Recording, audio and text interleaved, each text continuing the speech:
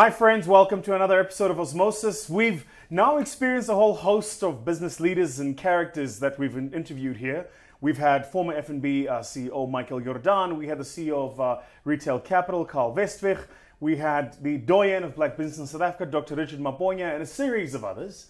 Today's conversation I'm really excited by. One, because I'm joined by a dear friend, and two, because it's a conversation that is not often linked to what we talk about in our lives as entrepreneurs, but it's really important. Today we talk about wealth. What is it? How do you accumulate it? And how do you manage it? And to help me with this conversation is a dear friend, Mike Fannin. Obviously, thanks How's for having me.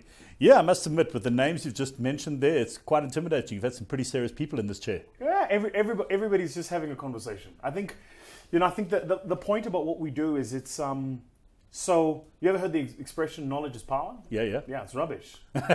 Application of knowledge is power. I like that. Right. So what we try to do with this platform is to not only give people the, the information, but also to try and inspire them to go now, go use it, go do something with it. Right. Fantastic. Um, and your, your story is interesting because you know every time I talk to you, I feel like we could come at this from so many angles. So I could talk to you as the expert who does what you do, but also I could talk to you as the entrepreneur who is in a business and is part of a team that's building a business that wants to be the largest distri- distributor of high net worth products in the continent. Right. Yeah, yeah. First, talk to me a bit about your entrepreneurial journey. How's that gone? Okay, it's it's a it's a, how far back do we go? Um, from the from when I was at university, I've always wanted to look at doing something that was different. Yeah. I never wanted to be just the guy who ran out and you know got the job in a bank and went from there and you know just those steps. So I lasted my entire career as an employee was 14 months in investment banks in London. I literally went there. 14 months later, I decided I didn't want to jockey spreadsheets for a living. And what I wanted to do was do something different. And I think that's the first thing you got to do is you got to find something you're passionate about. And my passion has always been helping people with their finances. Mm.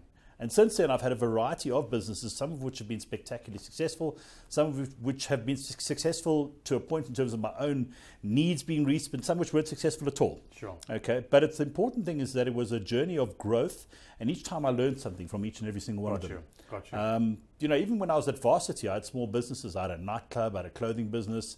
Um, some were pretty exciting, some were exciting for the wrong reasons, but each one you learn a little bit, a couple of different things from them. You know, right. So, yeah, in terms of where we are right now as Carrick, Carrick is the culmination of a whole lot of partners, of all of our journeys, of all of the things we learnt in our various careers coming up to now. And we've kind of put it all together to build something where we're trying to make an optimal offering in terms of a financial services offering that really meets the needs of what people are looking for. gotcha. You know, we spoke a little bit earlier about the fact that there's a lot of things out there selling product. We, we don't want to be in the business of selling products, you know. We actually want to be giving advice, sitting down with people, really understanding what it is they're looking for, and then going out and finding it. You know, I might not have it on the shelf, but I might know where to go and look for it. Got you. So you do a, a lot of, to your to the point, a lot of advisory work, particularly to people who are either high net worth or looking to become high net worth. Yeah, most definitely. Talk to me a bit about if when you're an entrepreneur, what are the three most important things you should have top of mind when you're thinking about how to begin to the process of accumulating wealth? Okay, wow. Um, that's a broad topic. I think the first thing as an entrepreneur is you've got to realize is this is going to take some time. Right. You know, there's a there's a speech that Jack Ma from Alibaba gave a couple of weeks ago where he said, you know, if you're planning on getting out in three years, it's going to take you five. Yeah. If you're planning on five, it's going to take you ten. There is no fast route out of this. Yeah. A lot of people see entrepreneurs as these guys who are wildly successful. You know, they got money, they got cars, they got all these things, but they don't see behind is the pain and the long road it took them to get there. Yeah. So the first thing as an entrepreneur that you've got to realize it's going to take you some time. Right. Find something that you're passionate about. Okay, it's your first take. I think the first steps before you get into the nitty gritty, it's the three P's: passion, people, and persistence. Right. Passion. You've got to have something that you are truly, truly passionate. You want to do this because there's going to be a number of days where you get out of bed and you think, "Ah, ah I just can't go in today. Hmm. You know, your business isn't going growing as fast as it could. You've got cash flow problems. You've got all these things against you, and without that passion for doing it, you're not going to be able to go pull through. Hmm. Hmm. The second thing you want to be really looking for as an entrepreneur to start creating what you need people. You know, it's what people are you getting around yourself, who are you're working with. And, uh, th- you know, there's a saying of, you know, get the right people on the bus and then decide what you're going to do. It's not necessarily about the product. If you're surrounded with the right people, People, yeah, yeah. who are committed to that passion I spoke about earlier, Yeah. and they're completely, you're all single minded about hitting it, Yeah. then you're going to find somewhere you're going to make up, you're you're going to get towards your goals. Yeah. You know, you can have the best people in the world, okay, but if you're not unified in terms of a passion, you're not going to get there. So, so get the right people and even try them in different roles. Mm. You know, here's the other thing. You may have a guy. We, you know, I look at myself in in Carrick. I think I'm on my fifth different role within the company. It's only three years old. Because there's been things that I've been good at and needed at the time, but we've also been flexible enough to move me and use my skills where they're most where they're most needed. Right. Right. The last thing that an entrepreneur is going to need is persistence. Right. Okay, persistence goes beyond anything. You know, somebody said to me, I imagine it's like giving blood. And they say, How much blood are you going to give? And they say, Everything I've got. And I say, It's not enough because you're probably going to have to borrow some as well. Okay? and, and that's the part, you know, when you're going through hell, keep going. And, and really, you know, there's, there's, there's no entrepreneur in the world that has had, it, had, it, had an easy ride where it's been plain sailing all the way through. Each and every person who started a business has stared that wall in the face and said, you know, what, what have I done? 100%. You know, and it's 100%. that persistence to say, I was passionate about this, I've got the right people with me, and to keep on driving, driving through.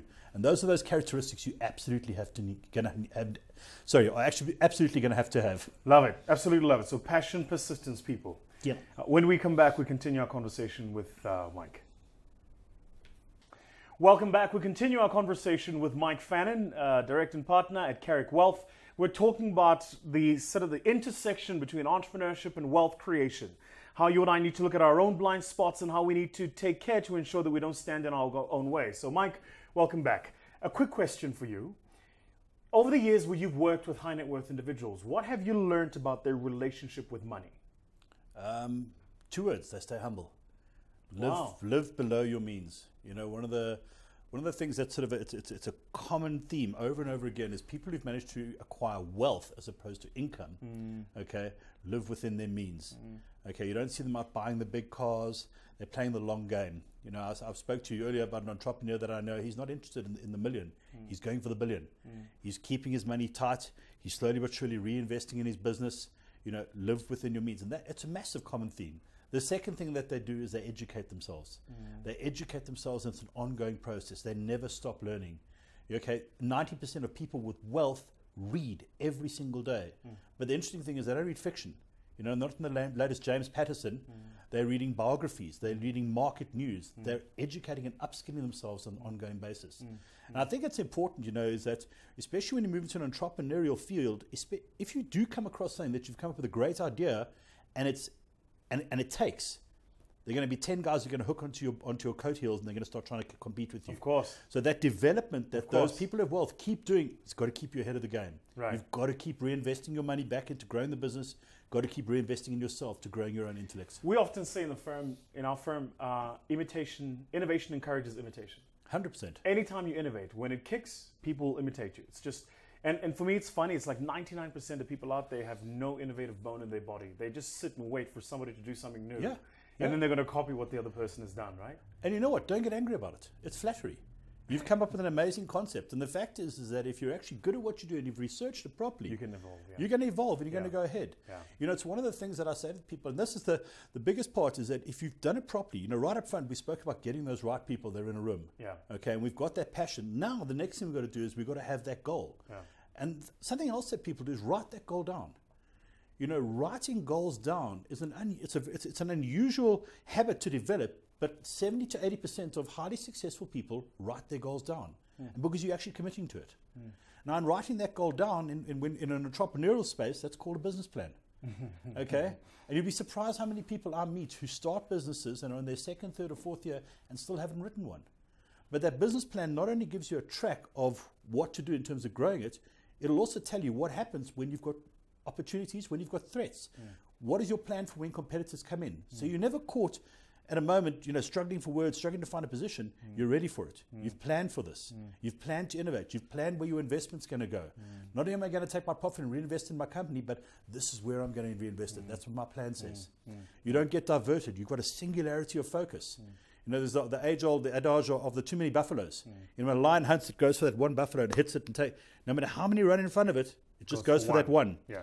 Okay, Yeah. your business plan shows you that one. So that's where my investment's going to go. That's how I'm going to grow my business. It's true too, isn't it, about just life generally, is how you've got to have a, a singularity to the point, Yeah. a single view of where you want things to go. Yeah.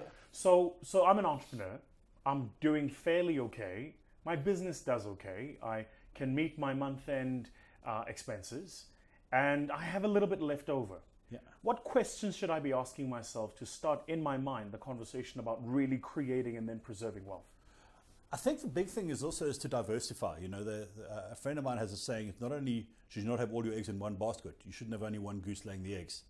And wow. I, I, think it's important that the second you're starting to free up that extra capital, is to diversify into assets or that are going to grow equity or grow wealth that are not directly correspondent to what you're currently involved in. If you're a tech business, don't go invest in a whole lot more technology companies. 100%. Let's try and spread it around because every bubble bursts at some stage. Everything has their cycle. Mm. So what you want to do is start growing assets, and it must be and real assets. Mm. Okay, you know if you're a startup, don't go invest in a whole lot of other startups. Mm. You've already got your risk capital. Okay, so start to differentiate in terms of asset classes, in terms of geographical diversification. Um, you know, it could be different currencies or whatever it may be, but make sure you're diversifying as you grow. But the biggest thing is, just to roll back, is your time of what to invest and when is determined by that business plan again. Because hmm. within that, you've got to be saying, this is the point when we will take money out. Hmm. Not, okay, we've got a couple of hundred thousand rand left over, what do we do with it? Okay, let's pay it out. Mm. You've already made a bad. That your your system should tell you when to reinvest, mm. when to pay it out, at mm. what point that's now capital for the shareholders, mm. what point it's back for the business, mm. and you have to stick to those rules. One of the challenges about living in South Africa is it's incredible, and to make it a local conversation now, is this, in my view, is one of the hardest countries in the world to create and preserve wealth purely because, and this is just my view. Yeah. There, there are so many, there are so many systems, processes, and laws to part you with your money that it's really hard to go to go yeah you know I, am willing to work an eight work an 18 hour day for 10 years on end yeah. because at the end of it the trajectory of my what my, my net worth looks like is different to the guy who just gets an 8 to 5 job yeah so so here's the question i'm asking yeah so here's the question one is my assertion right right? and, and, and, and I suppose the question specifically I'm asking leads to the second question, which is what is the benefit of looking at going offshore yeah. in terms of getting exposure to different markets so that yeah. you can diversify your risk? Yeah. Okay, so first one, yeah, unfortunately, I do disagree. You want a place that's hard to grow money? Yeah. Go to Australia. They've got a million ways to take cash off you. Wow. Go come against the US Re- Internal Revenue Service. Yeah. The taxation there makes us, we're amateurs. Yeah. Okay, we're a country that is still growing and has the opportunity to grow at a rate of knots. We've got a couple of issues we've got to sort out, but a lot of it's virgin markets. Mm. A lot of things that are mature in other countries are brand new here. We haven't even started them yet. Mm. So there's a lot of ideas. You know, we spoke about people who are just sitting there waiting to take an idea. That only you don't actually need your own idea. There's 50 ideas that have worked well in other countries that haven't even started here yet. How about you? That you could look at potentially. Is there regulation? Regulation's a good thing we run towards regulation because regulation keeps the cowboys off. The guys who are going to follow you, it gets rid of them. If you're running a compliant, a legally, a legally compliant business within the law, okay, and you're doing it properly, yeah, it'll take a little bit longer to get up there, but that regulation actually protects you from the day tripper who's going to try and take your money off you. I understand. The second question, in terms of going offshore, offshore is a is an investment question. You know, I've always likened it to, I think I've heard you, you've heard me use the analogy before. If you imagine a, a field, a cricket field of 100 square meters, yeah. and you got, your, you, you got your children, you're going to take them out, you're going to go play cricket, yeah. and what you do is you stand in a one square meter space on that field, this tiny little block, and that's the only place you play, and all that other grass sits out there. Yeah. And, and that other grass is offshore, okay? South Africa is 1% of the global financial market. If we only invest here and only play here, we're back to are only one goose. 100%, yeah. It's, it's a standard practice in terms of investment to diversify by geography, by asset, by asset class, by currency. This is normal. This isn't, it's not hiding money. It's not doing anything. It's a normal part of investing. Mm. And it's extremely prudent, especially when we live in a country which is extremely volatile. Mm. Our rand, you could wake up tomorrow and you could be worth 30% less. you know, when you see these exchange rates go up and down, I always say people say, what does that mean? And I say, well, if you imagine, you know, when I go to Woolworths, okay, I do all my shopping and I do, and I put my meat in last. Mm. That's the last one I go and I get my meat. And what, what, what a 30% drop in exchange rate means, somebody comes along to my trolley and takes all my meat out and says, you can't have that anymore because your rand's now only going to buy what's left. Wow. And that's what those movements in exchange rate can do to you. So you want to be investing your retirement wealth in hard currencies that offer a lot more stability. I got you. So finally, to close it, um, to the entrepreneur watching this conversation, who is again at the point in their lives where they're having to make decisions about what does their future look like, to make sure that I understood it. So you said passion, people, persistence, got yep. that. You said look to diversify, got that. Yep. You said make sure that you act for your circumstance and your situation, got that too. What is top of mind that you'd like that entrepreneur to always have consistently at the back of his mind about creating a legacy, particularly a financial legacy? remember what you got into it for in the first place. Okay, Yeah. this whole thing's supposed to be fun. Yeah. Okay, we all get into this for a reason. That passion that we spoke about, remember why you did it in the first place. There would have been a moment you woke up and thought, Mm-hmm. This is what I want to do. Okay, you were a speaker. Yeah. There was a moment you woke up and thought, "Ah, I want to talk. Yeah.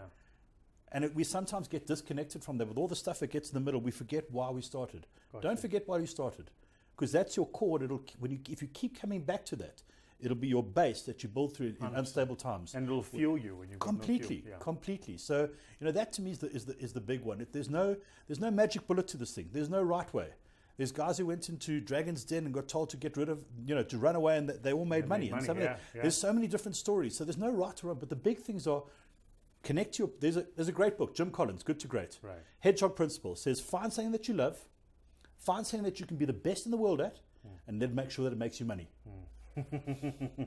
And that, my friends, is where we good where we leave it. Find something that you love, find something you're the best in the world at, and make sure that it makes you money. This is uh, Vusi Thembekwayo, who's presented another episode of Osmosis, joined by my good friend Mike Fannin from Carrick Wealth. Cheers.